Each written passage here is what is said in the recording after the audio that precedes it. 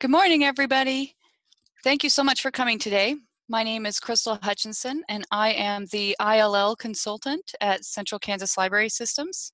Um, I'm going to go ahead and share my screen with you and get my presentation pulled up.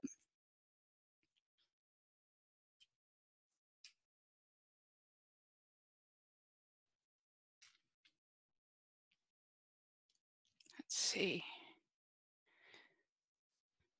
Did the wrong one. I want to share my desktop.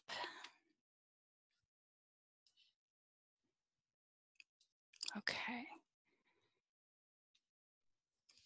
And I know I can make this little bar at the top go up so I can or down.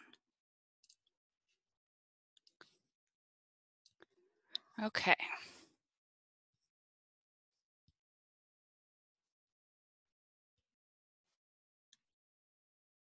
Can everybody see my first slide on my presentation? Okay, terrific. Um, today's webinar is going to be about updated practices and procedures for using your ILL workflow when you have um, share re requests that need to go through Pathfinder Central or when you um, are filling a pending for SHAREit and you need to send an item out on um, Pathfinder. So for the purpose of this webinar, I'm going to refer to Pathfinder Central as simply Pathfinder. And um, I gathered this newest information uh, from a Bywater Solutions uh, blog post that they have. So I made sure to include that link in the first um, uh, slide here. Um, I wanted to make sure to also mention that although this is our updated and considered best practices at the time of 2018, uh, this does not mean that you need to change your ILL workflow or procedures at your library. If you have a method set up and you really like um, the way that you process your materials that come through SHAREit requests. Um, don't feel like this is a directive to have you change your workflow. This is just simply to show you some tips and tricks to make it easier. We're going to cover um, four points today. So the purpose of this webinar is to first show you how to check out your materials that are on your shelves on Pathfinder before you fill a pending request out on SHAREit. Um, the, and we'll actually do the process of creating a dummy account. Um, after that, we'll go through checking out an item that you received from another SHAREit library and how to um, prepare that item to give to your, pa your patron. Um, and we will actually create a temporary record. After that, we'll quickly go over the workflow differences between placing a hold on Pathfinder and making a request on SHAREit. Because when you are working on holds in Pathfinder, that is called PIL, um, the Pathfinder Interlibrary Loan, and working and making requests on SHAREit is called ILL. So um, there's a subtle difference between both of those, and I'll kind of show the workflow and, and what is easiest for you.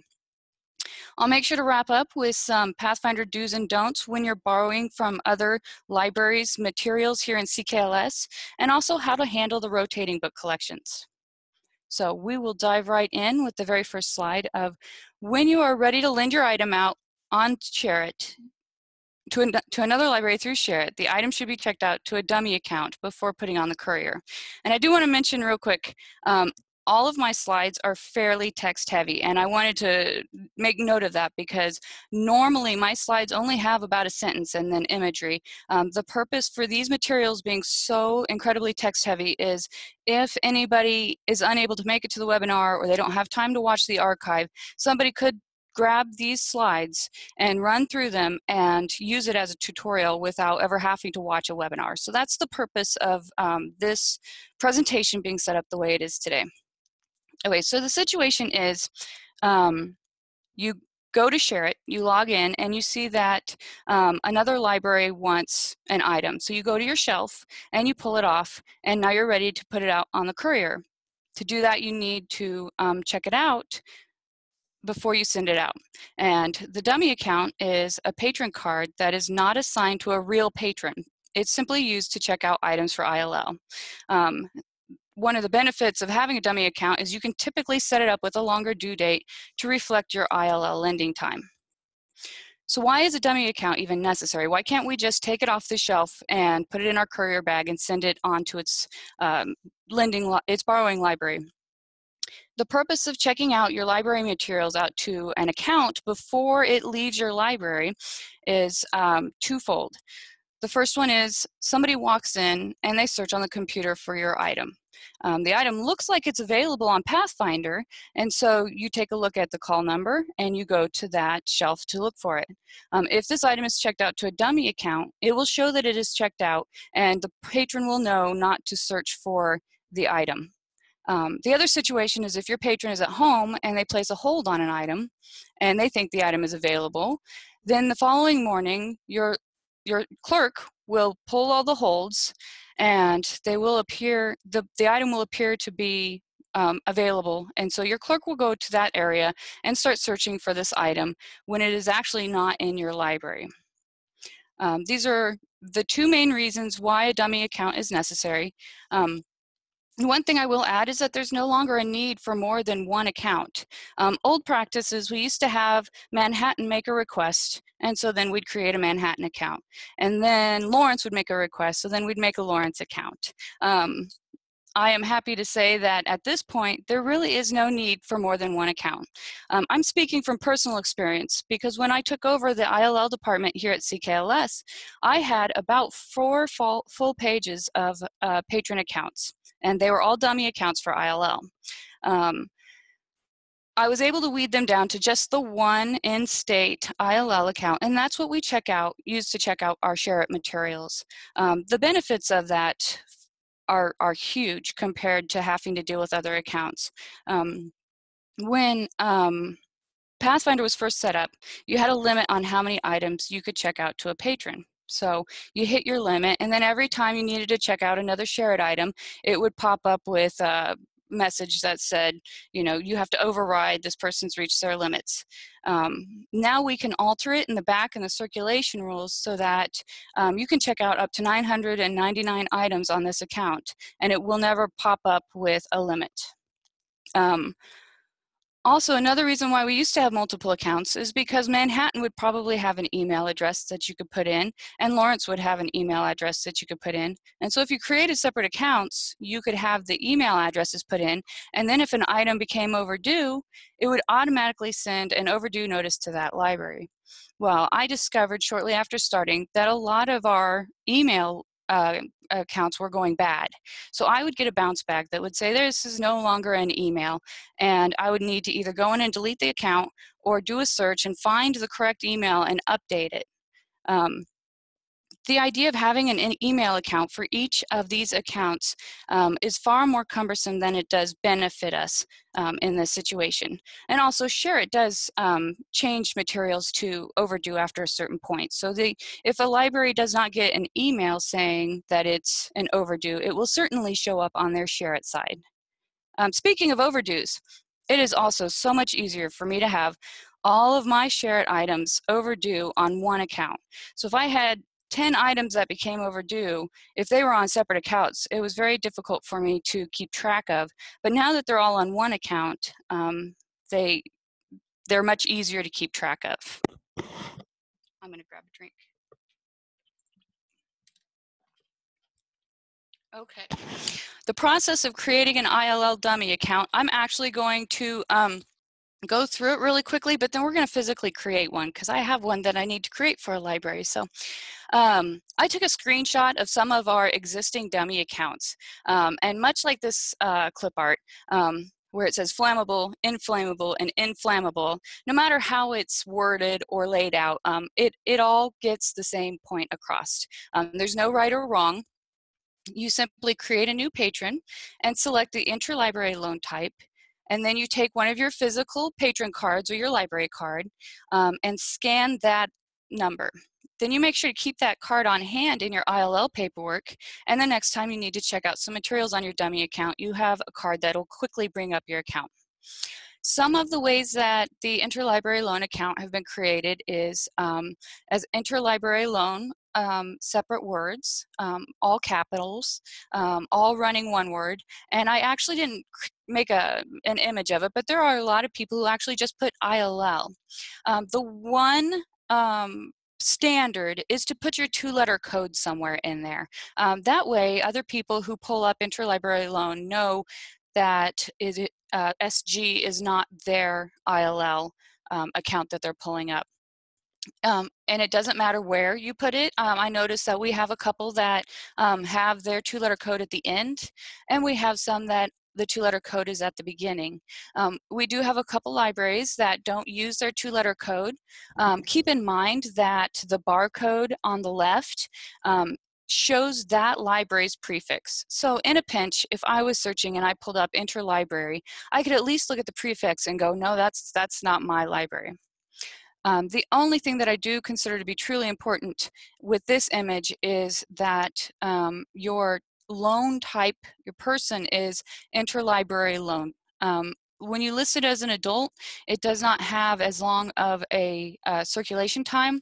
And when you check out items for share it, it often um, requires uh, at least two extra weeks uh, to travel out on the courier and then travel back. Can I interrupt for a second, Crystal? Sure. Um, make sure that your library has circulation rules for interlibrary loan um, because each library has their own circulation rules.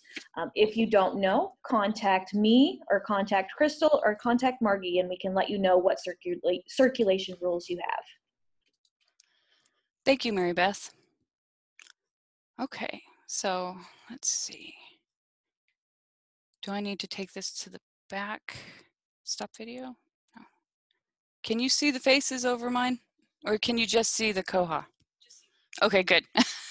my uh, my participants are over the top of it, so I wanted to make sure that I um, wasn't showing you guys just a list of faces. Okay. I'm going to make a dummy account. Um, we have a new library that will be joining us this year. Um, it is USD 431 Hoisington Schools. So how we're going to go about making their dummy patron is we'll go to new patron and we'll scroll down to interlibrary loan. And then in our surname, we're gonna put, now the thing about schools is um, they have a four, three letter code. We still say two letter code, but it is actually a three letter code. So their three letter code is 431, just like um, USD 224 is 224. Um, and then I'm going to put um, interlibrary loan as their surname. Now at this point, you only need to fill in anything red. So you don't feel like you have to fill out all of this other information. They are asking for the zip code, so I am going to put the Hoisington zip code in, which is 67544. And then a little bit further down, they've got a card number. Now, I get to be the person who puts in the very first card number that they have um, for their patrons. So they are going to be the prefix 27431. Okay. Um, library needs to be their library, Hoisington School. They are interlibrary loan. And then the final information is the username. Um, when you put in the OPAC staff login for a dummy account, that can be kind of confusing because you may think you need to put in the real um, login information to, to keep track of it. But since it's a dummy account, you will never log into this account because you have your own staff account. Um, so what I'm going to do for this one is I'm just going to put USD 431. Here you can just put in a generic password and then click save. No. um, once you're done, you should be able to save. It shouldn't ask you to do anything else. And they have created an interlibrary loan. So when they train on interlibrary loan, they should be able to check out all of their materials to this dummy account before sending it out um, to the library. Okay. Um, before I move on to our next topic, um, does anybody have any questions about dummy accounts?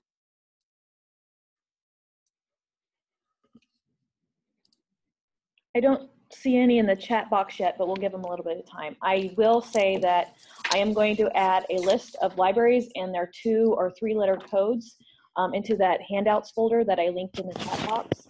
So it will be there later today. Terrific. Thank you. Okay, so we have, we have the flip side of having items going out, we have materials coming in. So in this situation, you make a request and then the book arrives from another library and um, you're ready to check it out to your patron. um, checking out an item that you received from another library on ShareIt, and it needs to go out to your patron. So when we um, normally hand these out, some libraries just hand it over to them and rely on ShareIt to um, keep track of when it becomes overdue and when it comes in, and they may even include um, their patrons information in the in a ShareIt request so that they know who has it. Um, if you want to follow your workflow that you're currently using, that is perfectly fine. Um, this is um, a nice way to um, be able to track on a patron's account, and I'll explain why temporary records are so beneficial. Oh, and the definition is um, a temporary record is deleted when the book returns from the patron. That's why it's a temporary record and not a dummy record. Okay, a temporary record versus a dummy record. A temporary record is entered into the catalog with its information about the item being added. And so the image on the left kind of reminds me of a temporary record. You've got a title, you've got a book. It's obviously only there for a brief period of time, and you know that you know that it's um, you know that it, the title information of the book. I I can just tell it like glancing at it. I believe it's a Handmaid's Tale, um, and once um, the patron returns it, that record is typically deleted, and that is the end of your ILL transaction with that item. A dummy record is a blank record that sits in the catalog and sometimes has an item type attached to it. Um, sometimes there will be a few uh, dummy records with holdings that say DVD, book, Playaway, or it'll actually be a dummy record that says Playaway, DVD, or book. And they stay in the catalog and are not deleted. So the image on the right reminded me of our dummy records that sit in the catalog um, that people can see and, and um, they, they don't get deleted. Um, temporary records are they're, they're, they're the most current pra practice right now. And the reason why is because there was a time that we had no automation on our libraries. And then we started having a few libraries that were automated, but still many of the other libraries did not have barcodes. Well, now pretty much everybody who's automated that is going to be automated. And if an item comes in from ShareIt, um, you can use the barcode that's on the item to actually create the temporary record. So then when the item comes back, if your clerk doesn't catch that it's not your item and they go to scan it in, it will pop up with a little yellow field that says that it's an ILL item and the temporary record is ready to be deleted. Um, it's also um, an extra step if you like to keep track of your patron accounts. If you have a patron who walks in and um, says they've turned in their ILL item, and it shows that it's checked out on Pathfinder, and it's still shown checked out on ShareIt, there's a good possibility that this patron still has the item. Um, finally, having pre-created dummy records that, hand, that are in our catalog, um, they tend to build up and have a few problems for the following reasons. Um, let me show you really quick what um, a dummy record looks like. I, as a, um, a researcher, and especially in interlibrary loan, I was um, interested in searching for interlibrary loan books. And when I did my search, um, it was a very situa- very strange situation.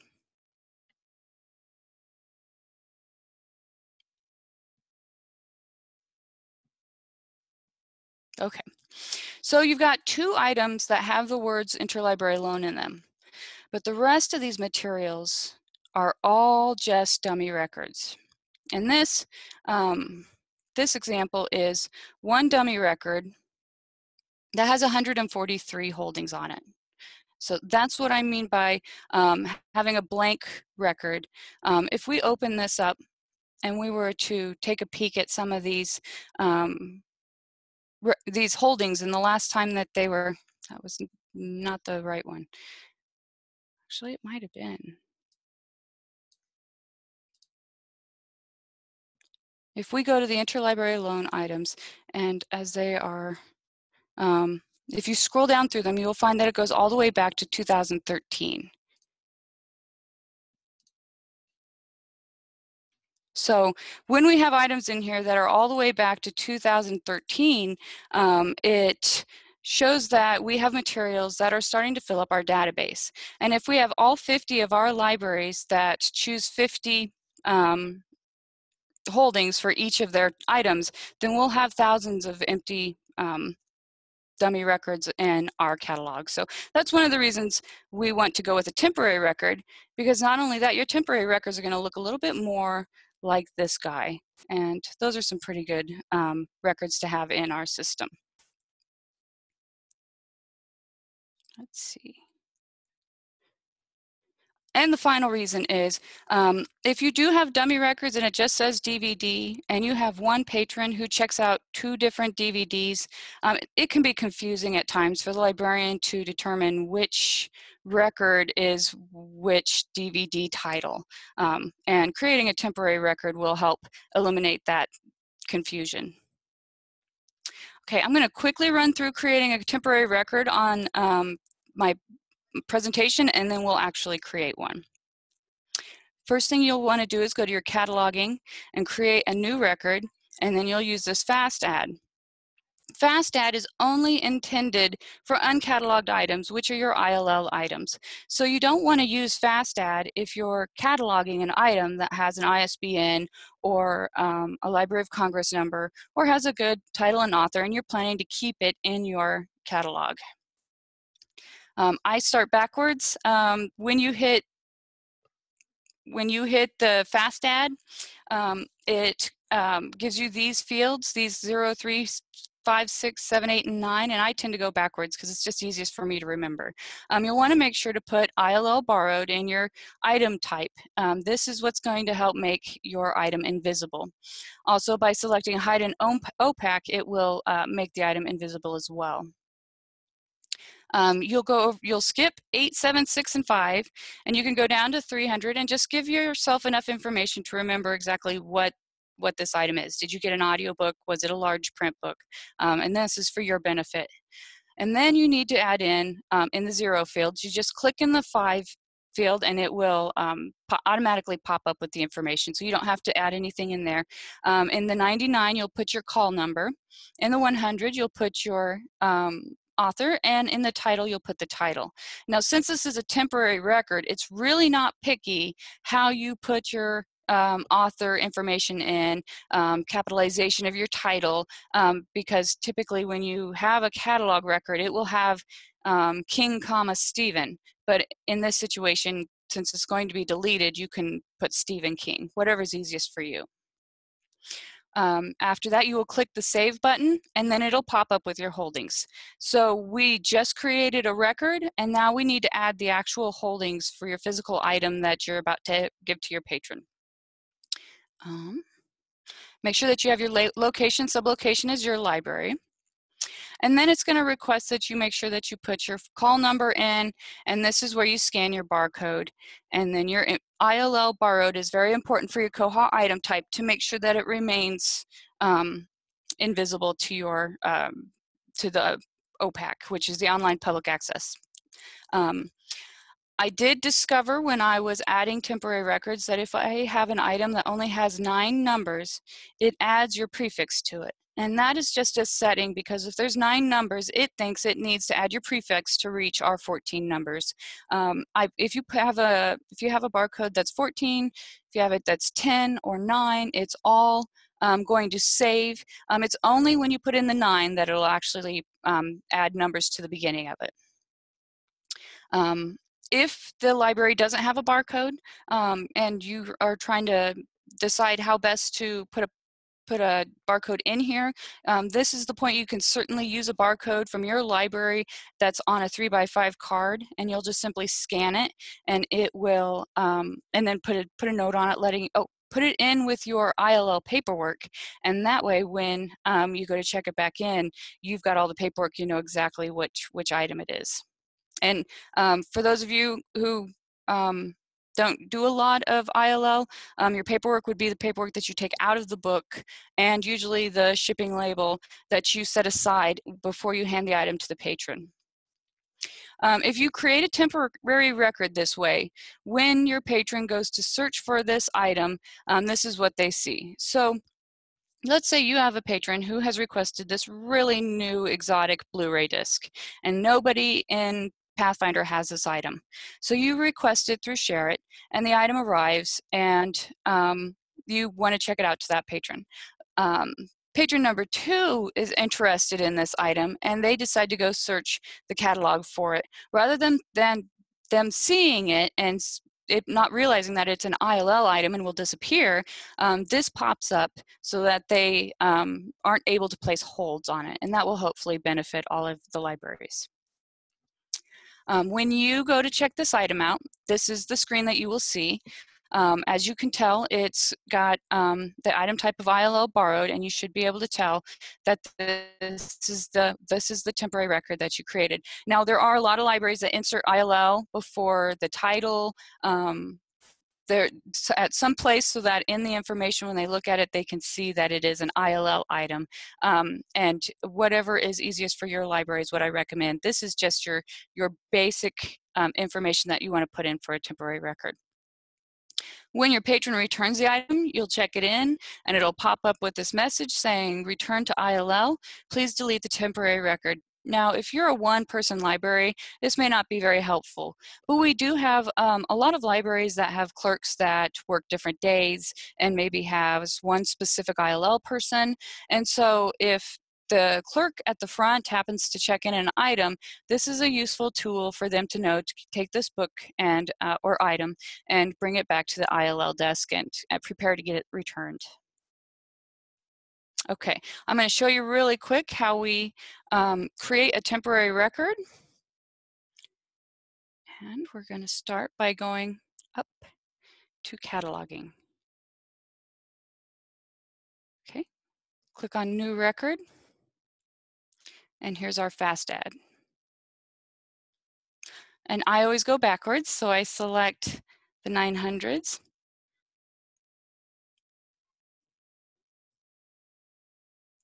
To ILL borrowed, and we will hide this item in the OPAC. So we don't need to add anything to 8765. We'll go down to 3. Um, for this, we're going to go ahead and say we're doing an audiobook. Last time I did a large print book. And then we click in the 005, it just pops up. Um, you can put in the ISBN, which is the uh, the 13-digit number on the back of your book or inside the cover if you want to, but it is not required to save this. And we'll put in the author, and we'll put in the title.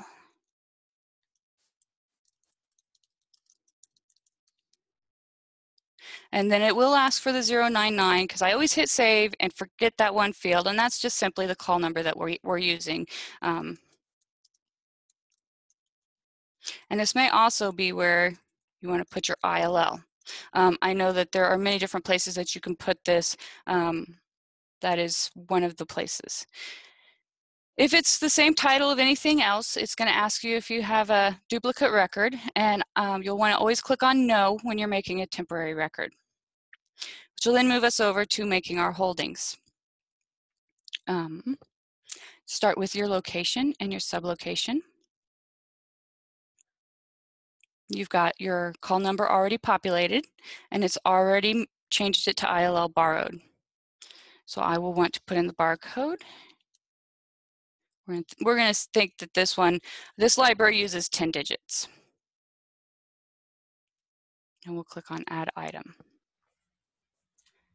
So when we're ready to, this item is for Crystal Hutchinson. That'll be our, our patron. So she walks in and she says, I got the call that um, you have my ILL item. We'll just pull her up.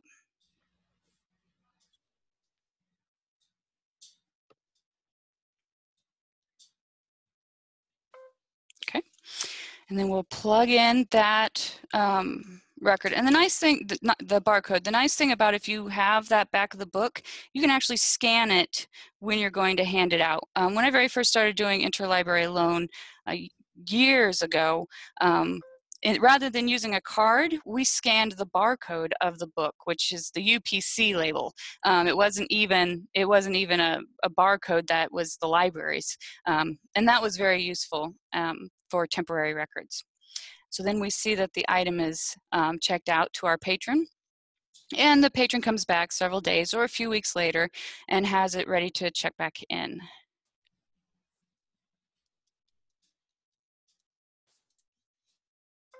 Okay, and then it shows the um, yellow box that says return to ILL, please delete the temporary item. And um, you'll want to, at that point, click on it, click on normal. When in doubt, normal it out. That's how you get to get to um, a record if you're having a hard time um, locating it. And then I check marked right here next to the item, and then I'm going to click, click on delete selected item and it's going to pull it up and say this is the one you want to delete. And then to get rid of this temporary record, I'll cl click on delete record if no items remain.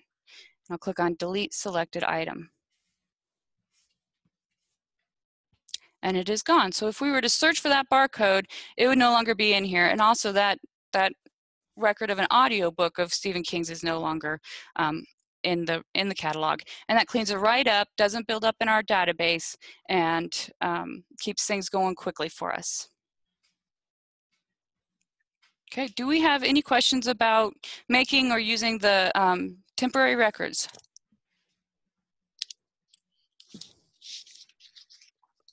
I don't see any chat, but let's give them a couple minutes to type something in.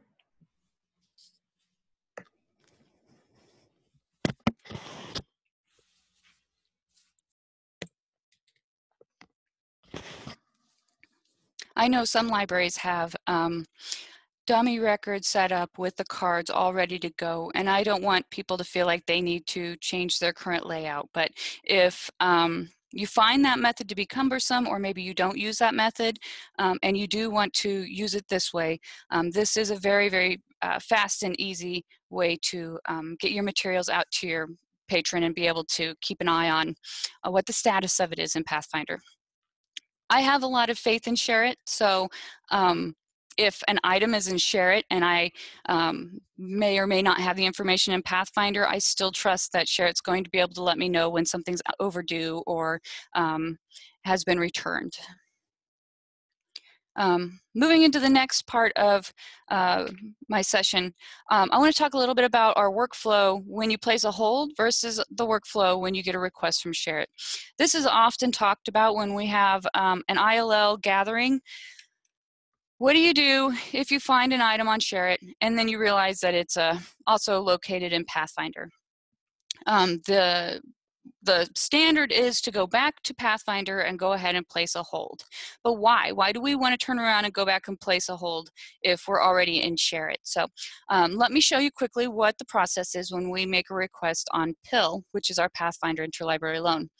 You make the request on PIL. Um, that's your patron placing a hold.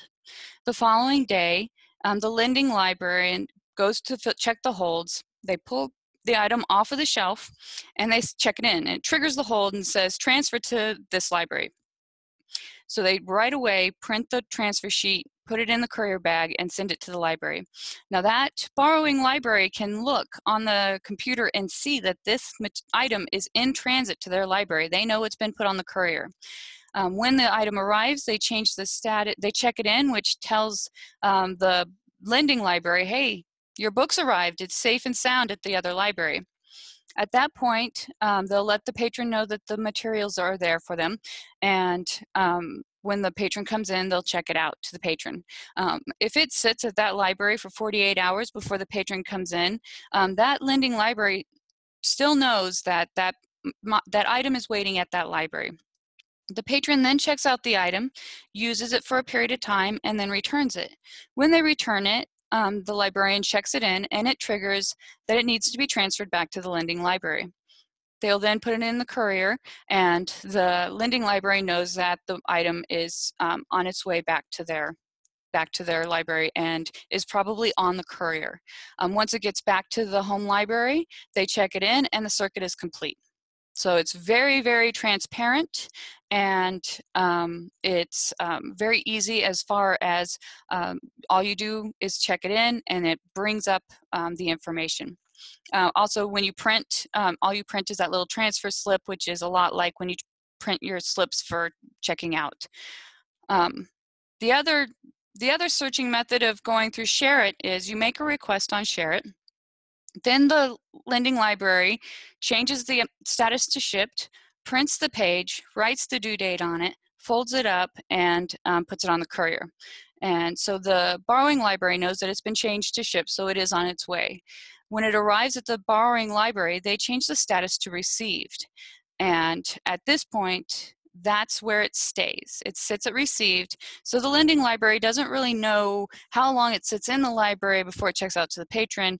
It doesn't know um, when it does get checked out to the patron how many weeks use they have, and it doesn't know if um, the item goes overdue because the patron's a little late turning it in.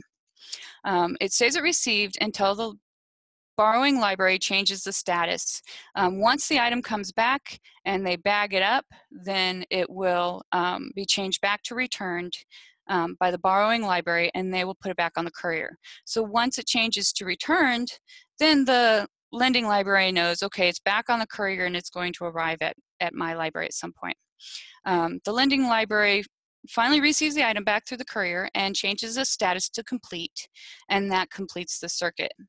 So the transparency we have with Pathfinder um, makes SHAREit much more difficult to track when you want to make a request on SHAREit. So that's why when you have a library who wants to um, have another library cancel a request on SHAREit and make a hold on PIL, it's less paperwork, there's less computer work, and um, it's very clear to track their item when they send it out. So um, this is the workflow for Pathfinder Central and the workflow for SHAREit. Oh, and there is a situation where um, an item is lost um, on Pathfinder and, and you have to choose SHAREit. and that is perfectly acceptable. If you are trying to access something in Pathfinder and only one library has it and you have not been able to get it, or an item is damaged and cannot be sent, feel free to go over to SHAREit and make that request, even if you do find something in Pathfinder. I do have a comment in the chat. It's um, from Gail. She says it's also easier to track your statistics on Pathfinder. Absolutely, absolutely. Pathfinder does all the work for you. You run a report at the end of the year and boom, there are your stats. Whereas with SHAREit, it's best recommended that you keep track by having hash marks on a paper or keeping an Excel spreadsheet or a Google spreadsheet, some form of um, keeping track of, of how much you've sent out and how much you've requested on SHAREit. So Pathfinder is definitely the easier of the two. Um, some housekeeping and then some question and answer time. The rotating uh, book collection that goes out to your libraries. And if you borrow an item from another library, so an item that is not actually owned by your library, do not lend those out on SHAREit. Um, if a library requests, places a hold for an item in Pathfinder. Um, we have a policy set up in Pathfinder where you start lending your new materials after one month. Um, on SHAREit, you do not have to lend your, your fiction items for six months. Your nonfiction items are four months. So if you borrow something after a month from a library and send it out on SHAREit, then um, that might not coincide with what the circulation stats and rules are for that um, owning library. Um, another Another reason for rotating is um, they come out to your library and you are a um, you are you are the interlibrary loan. We are loaning these materials to you, and um, when you lend those out, um, the the biggest issue is they don't come back to you. And that's actually the why of this. Um, if you send something out on interlibrary loan and it's not your item, it doesn't always make it back to your library. It'll go back to its home library, which is CKLS, or that library that you borrowed an item from and then sent out on SHAREit. Um, when that happens, you don't get to close your circuit because the paperwork and everything goes back to the home library. And so it ends up being more difficult um, on your end for SHAREit as well. So the overall rule is if it's not yours, don't lend it on SHAREit. Um, and I wanted to conclude by making sure, I know I say it over and over and over again, but um, I want you to make sure that you do what works best for your library. You may find a combination of creating a dummy account and maybe still you having a a dummy record may work best for your library. Um, you might find that these are absolutely the best and easiest for you to use an ILL and you may switch over and you may currently be doing it. But um, this webinar is not intended to tell you what you have to do. It's just showing you the best practices in this shared catalog. Um, we all share this catalog and um, we want to make sure to keep our database clean and we want to make sure that um, we're all serving our patrons as quickly as possible. So I just want to thank you for attending my webinar and um, I'm happy to take any questions or concerns that you may have um, involving ILL. I don't see anything in the chat yet, but we'll give you guys some time to type in there. Um, you can also feel free to unmute your mic and ask over the microphone. Um, either way is acceptable.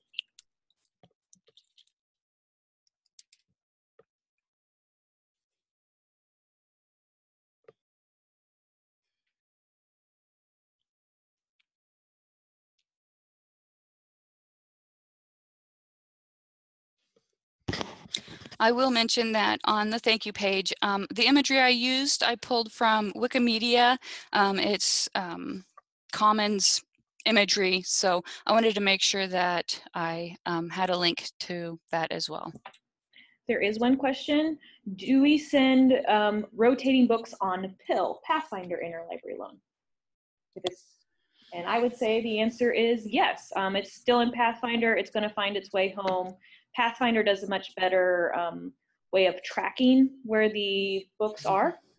Am I muted? Are you? I can hear you. Okay. Um, so yes, Pathfinder um, interlibrary loan, you can send rotating books out on Pathfinder interlibrary loan.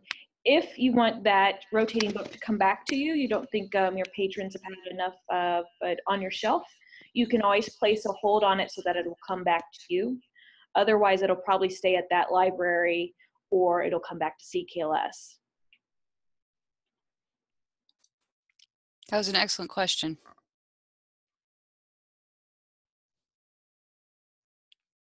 Okay, well, if there are no other questions, um, that concludes my webinar. I do want to um, show how to take a peek at um, our Tuesday topics on YouTube.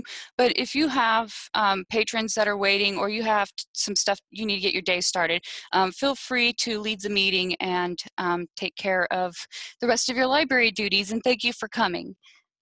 Um, I have the YouTube set up um, this is my personal YouTube. So that way I'm not affiliated with Central Kansas Library System and um, it's exactly like if you were to go to YouTube.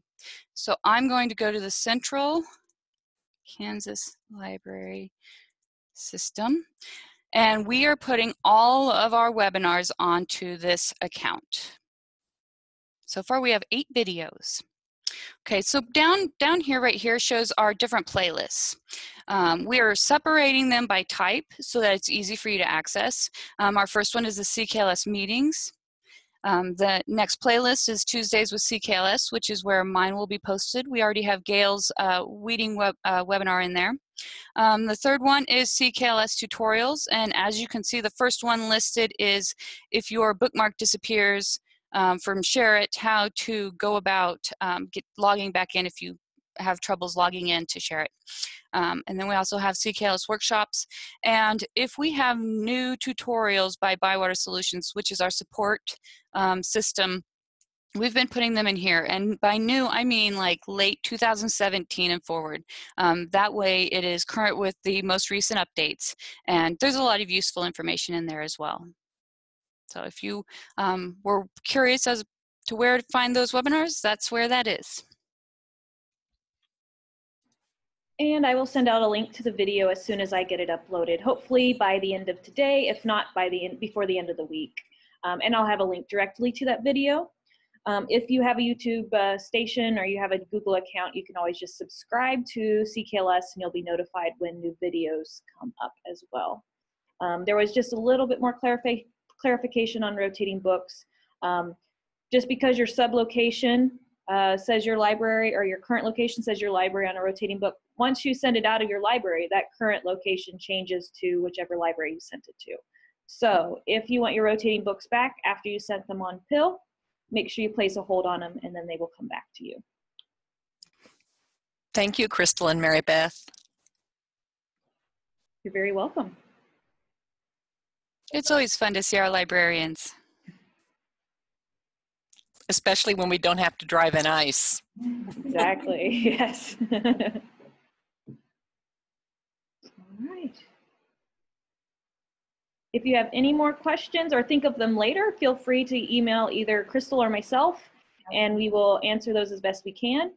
Um, I'll also um, uh, archive the chat, so any of the chat information will also be archived as well.